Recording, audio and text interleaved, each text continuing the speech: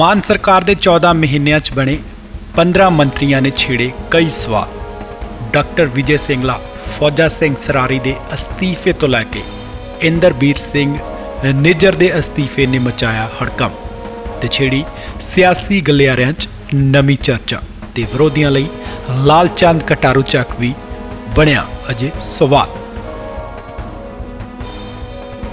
ਦਰਸਲ ਬਿਨਾਂ ਕਿਸੇ ਉਗਸੁਕ ਤੋਂ ਹੀ ਇੰਦਰਬੀਰ ਸਿੰਘ ਨਿੱਜਰ ਦੇ ਅਸਤੀਫੇ ਤੇ ਕੁਲਦੀਪ ਸਿੰਘ ਢਾਲੀਵਾਲ ਦੇ ਵਿਭਾਗ ਦੇ ਤਬਾਦਲੇ ਨੇ ਵਿਰੋਧੀਆਂ ਲਈ ਨਵੀਂ ਚਰਚਾ ਛੇੜ ਦਿੱਤੀ ਹੈ ਪਰ ਕਈ ਸਵਾਲ ਤੇ ਭੇਤਾਂ ਨੂੰ ਵੀ ਜਨਮ ਦੇ ਦਿੱਤਾ ਕਿ ਭਰੋਸੇਯੋਗ ਮੰਤਰੀਆਂ ਤੇ ਵੀ ਮੁੱਖ ਮੰਤਰੀ ਭਗਵੰਤ ਮਾਨ ਦੀ ਤਲਵਾਰ ਕਿਸੇ ਸਮੇਂ ਵੀ ਚੱਲ ਸਕਦੀ ਹੈ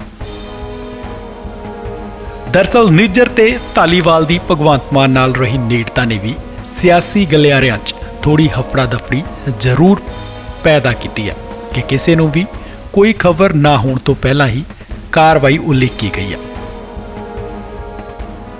ਗੱਲ ਜੇਕਰ ਸਾਬਕਾ ਮੰਤਰੀ ਇੰਦਰਬੀਰ ਸਿੰਘ ਨਿੱਜਰ ਦੀ ਕੀਤੀ ਜਾਵੇ ਤਾਂ ਬਿਨਾਂ ਕਿਸੇ ਚਰਚਾ ਤੋਂ ਹੀ ਅਸਤੀਫਾ ਦਿੱਤੇ ਜਾਣਾ ਸਵਾਲ ਤਾਂ ਹੈ ਹੀ, ਪਰ ਡੂੰਗਾ ਭੇਤ ਵੀ ਹੈ ਤੇ ਅਸਤੀਫੇ 'ਚ ਕੋਈ ਵਜ੍ਹਾ ਦੀ ਥਾਂ ਨਿੱਜੀ ਕਾਰਨ ਹੋਣਾ ਹੋਰ ਵੀ ਕੂੜਾ ਸ਼ੰਕਾ ਪੈਦਾ ਕਰਦਾ ਹੈ। ਇੱਕ ਪਾਸੇ ਚਰਚਾ ਹੈ ਕਿ ਇੰਦਰਬੀਰ ਸਿੰਘ ਨਿੱਜਰ ਦਾ ਅਸਤੀਫਾ ਅਜੀਤ ਦੇ ਸੰਪਾਦਕ ਡਾਕਟਰ ਹਮਦਰਦ ਦੇ ਖਿਲਾਫ ਵਿਜੀਲੈਂਸ ਇਨਕੁਆਰੀ ਤੇ ਸਵਾਲ ਚੁੱਕਣਾ ਹੈ ਤੇ ਦੂਜੇ ਪਾਸੇ ਲੋਕਲ ਬਾਡੀ ਮੰਤਰੀ ਹੋਣ ਤੇ ਉਹਨਾਂ ਵੱਲੋਂ ਚੋਣਾਂ ਤੋਂ ਪਹਿਲਾਂ ਹੀ ਸਹੀ ਢਾਂਚਾ ਤੇ ਕੰਮਕਾਜ ਨਾ ਹੋਣਾ ਵੀ ਹੈ। ਪਰ ਡੂੰਗਾ ਸਵਾਲ ਇਹ ਵੀ ਹੈ ਕਿ ਐਸਜੀਪੀਸੀ ਚੋਣਾਂ ਦਾ ਜ਼ਿਕਰ ਹੁੰਦਿਆਂ ਹੀ ਨਿੱਜਰ ਦਾ ਅਸਤੀਫਾ ਆਉਣਾ, ਕਿਤੇ ਨਿੱਜਰ ਦੇ ਸਿੱਖ ਚਿਹਰੇ ਦਾ ਫਾਇਦਾ ਲੈਣਾ ਤਾਂ ਨਹੀਂ। ਭਾਵ, ਇੰਦਰਬੀਰ ਸਿੰਘ ਨਿੱਜਰ ਲਈ ਆਪ ਸੁਪਰੀਮੋ ਦਾ ਇਸ਼ਾਰਾ ਐਸਜੀਪੀਸੀ ਚੋਣਾਂ ਤਾਂ ਨਹੀਂ, ਕਿਉਂਕਿ ਇੰਦਰਬੀਰ ਸਿੰਘ ਨਿੱਜਰ ਖਾਲਸਾ ਦੀਵਾਨ ਦੇ ਚੀਫ ਹੋਣ ਦੇ ਨਾਲ-ਨਾਲ ਇੱਕ ਚਿਹਰਾ ਵੀ ਨੇ, ਜਿਨ੍ਹਾਂ ਨੂੰ ਹਰ ਕੋਨਿਓਂ ਜਾਣਿਆ ਜਾਂਦਾ।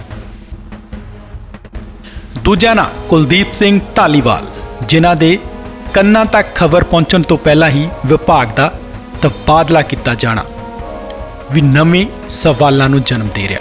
ਦਰਸਲ, ਭਰੋਸੇਯੋਗ ਸੂਤਰਾਂ ਦਾ ਕਹਿਣਾ ਹੈ ਕਿ ਕੁਲਦੀਪ ਸਿੰਘ ਧਾਲੀਵਾਲ ਦਾ ਕੱਦ ਮੁੱਖ ਮੰਤਰੀ ਮਾਨ ਸਾਹਮਣੇ ਹੋਰ ਵੀ ਵੱਡਾ ਹੋ ਰਿਹਾ ਸੀ, ਜਿਸ ਨੂੰ ਟਾ ਲਾਉਣ ਲਈ ਸੀਐਮ ਮਾਨ ਕਾਲੇ ਜਾਪ ਰਹੇ ਸਨ। ਤੇ ਜ਼ਿਕਰ ਇਹ ਵੀ ਹੈ ਕਿ ਕੁਲਦੀਪ ਸਿੰਘ ਧਾਲੀਵਾਲ ਦੇ ਵੱਲੋਂ ਇੱਕ ਨਵੀਂ ਖੇਤੀ ਨੀਤੀ ਵੀ ਬਣਾਈ ਜਾ ਚੁੱਕੀ ਸੀ, ਜਿਸ ਨਾਲ ਢਾਲੀਵਾਲ ਦਾ ਕੱਦ ਹੋਰ ਵੀ ਵੱਧ ਸਕਦਾ ਸੀ। ਸੂਤਰਾਂ ਦਾ ਕਹਿਣਾ ਹੈ ਕਿ ਢਾਲੀਵਾਲ ਨੂੰ ਇਸ ਗੱਲ ਦਾ ਖਦਸ਼ਾ ਜ਼ਰੂਰ ਹੈ, ਪਰ ਉਹਨਾਂ ਦੀ ਚੁੱਪੀ ਕਈ ਸਵਾਲਾਂ ਨੂੰ ਜਨਮ ਦੇ ਰਹੀ ਹੈ। ਕੁਲਦੀਪ ਸਿੰਘ ਢਾਲੀਵਾਲ ਦੇ ਵਿਭਾਗ ਦੇ ਤਬਾਦਲੇ ਦਾ ਜ਼ਿਕਰ ਇਹ ਵੀ ਹੈ ਕਿ ਢਾਲੀਵਾਲ ਨੇ ਬਾਦਲਾਂ ਦੇ ਸੁਖ ਵਿਲਾ ਤੋਂ ਲੈ ਕੇ 5000 ਦੇ ਕਰੀਬ ਨਜਾਇਜ਼ ਕਬਜ਼ਿਆਂ ਨੂੰ ਛਡਾਉਣਾ ਕਿਤੇ ਨਾ ਕਿਤੇ ਸਵਾਲ ਜ਼ਰੂਰ ਖੜਾ ਕਰਦਾ ਤੁਹਾਨੂੰ ਪਹਿਲਾਂ ਕਿਹਾ ਵੀ ਅਸੀਂ ਢਾਉਣਾ ਨਹੀਂ। ਜਦ ਐਡਾ ਵਧੀਆ ਕੋਈ ਹੋਟਲ ਬਣਿਆ ਉਹ ਢਾਵਾਂਗੇ ਕਿਉਂ? ਉਹਨੂੰ ਕਿਰਾਏ ਤੇ ਦਾਂਗੇ ਆਪਾਂ। ਢਾਉਣਾ ਨਹੀਂ ਕੁਝ ਵੀ। ਸ- ਸਭ ਦੇਖਦੀ ਗੱਲ? ਸਾਡੀ ਕਿਸੇ ਨੂੰ ਨਹੀਂ ਬਖਸ਼ਾਂਗੇ, ਤੁਸੀਂ ਘਬਰਾਉਂਦੇ ਕਿਉਂ ਜੇ? ਸਾਡੇ ਸੀਐਮ ਸਾਹਿਬ ਦਾ ਕਲੀਅਰ ਕੱਟ ਹੈ। ਸਭ ਦੇਖਦੀ ਗੱਲ? ਵਕਤ ਆਉਣ ਤੇ ਹਰ ਇੱਕ ਦੇ ਖਿਲਾਫ ਕਾਰਵਾਈ ਕਰਾਂਗੇ, ਜਿੰਨਾ ਚਿੱਟੇ ਦੇ ਚਿੱਟੇ ਦੇ ਨਾਲ ਪੰਜਾਬ ਦੇ ਪੁੱਤ ਮਾਰੇ ਆ। ਹਰ ਬੰਦੇ ਦੇ ਉੱਤੇ ਕਾਰਵਾਈ ਕਰਾਂਗੇ, ਤੁਸੀਂ ਘਬਰਾਉਂਦੇ ਕਿਉਂ ਆਖਰ ਸਵਾਲ ਇਹ ਵੀ ਹੈ ਕਿ ਮੁੱਖ ਮੰਤਰੀ ਭਗਵੰਤ ਮਾਨ ਦੇ ਵੱਲੋਂ ਡਾਕਟਰ ਵਿਜੇ ਸਿੰਗਲਾ, ਫੌਜਾ ਸਿੰਘ ਸਰਾਰੀ ਤੇ ਤਾਂ ਕਾਰਵਾਈ ਕੀਤੀ ਹੀ ਗਈ। ਜਿਨ੍ਹਾਂ ਦਾ ਜ਼ਿਕਰ ਪਿਛਲੇ ਦੌਰ ਦੇ ਵਿੱਚ ਵਿਰੋਧੀਆਂ ਵੱਲੋਂ ਖੂਬ ਕੀਤਾ ਗਿਆ। ਪਰ ਡਾਕਟਰ ਇੰਦਰਵੀਰ ਸਿੰਘ ਨਿਜਰ ਦੇ ਅਸਤੀਫੇ ਦਾ ਭੇਤ ਅਜੇ ਵਿਰੋਧੀਆਂ ਲਈ ਸਵਾਲ ਬਰਕਰਾਰ ਹੈ। ਜਿਸ ਨੂੰ ਆਪ ਦੇ ਪੁਰਾਣੇ ਸਾਥੀ ਤੇ ਕਾਂਗਰਸ ਦੇ ਮੌਜੂਦਾ ਵਿਧਾਇਕ ਸੁਖਪਾਲ ਸਿੰਘ ਖਹਿਰਾ ਨੇ ਵੀ ਸੁਰਖੀਆਂ 'ਚ ਲੈ ਕੇ ਆਉਣ ਦਾ ਕੰਮ ਕੀਤਾ। ਤੇ ਨਿੱਜਰ ਨੂੰ ਸਿੱਖ ਚਿਹਰਾ ਦੱਸ ਮੰਤਰੀ ਲਾਲਚੰਦ ਕਟਾਰੂ ਚੱਕ ਤੇ ਸਵਾਲ ਚੁੱਕ ਮਾਨ ਸਰਕਾਰ ਨੂੰ ਕਟਹਿਰੇ ਵਿੱਚ ਵੀ ਖੜਾ ਕੀਤਾ। ਖੈਰ, ਮੰਤਰੀ ਕੌਣ ਤੇ ਕਦੋਂ ਹੋਵੇਗਾ, ਇਹ ਤਾਂ ਆਪ ਦੀ ਲੀਡਰਸ਼ਿਪ ਹੀ ਤੈਅ ਕਰੇਗੀ। ਪਰ ਸਵਾਲ ਇਹ ਵੀ ਹੈ ਕਿ ਦੋ ਵਾਰ ਚੁਣੇ ਗਏ ਵਿਧਾਇਕ ਵੀ ਅਜੇ ਨੁਕਰੇ ਕਿਉਂ ਨੇ, ਜਿਨ੍ਹਾਂ 'ਚ ਸਰਬਜੀਤ ਕੌਰ ਮਾਣੂਕੇ ਤੇ ਬੀਬੀ ਬਲਜਿੰਦਰ ਕੌਰ ਦਾ ਜ਼ਿਕਰ ਹਰ ਥਾਂ ਹੁੰਦਾ। ਇਹਨਾਂ ਨਾਵਾਂ ਨਾਲ ਕਿਸੇ ਨੂੰ ਇੰਨਾ ਡਰ ਕਿਉਂ ਹੈ?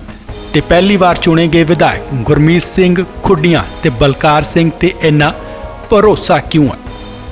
ਇਹ ਅਜੇ ਸਵਾਲ ਬਰਕਰਾਰ ਹੈ, ਜਿਸ ਦੀ ਹਰ ਪੰਜਾਬੀ ਨੂੰ ਉਡੀਕ ਹੈ। Bureau report, Global Punjab.